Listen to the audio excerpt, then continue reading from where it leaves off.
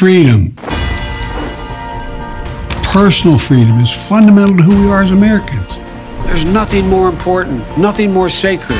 That's been the work of my first term to fight for our democracy.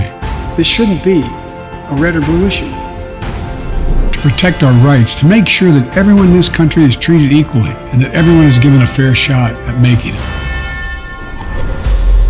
But you know, around the country, MAGA extremists are lining up to take on those bedrock freedoms, cutting Social Security that you paid for your entire life while cutting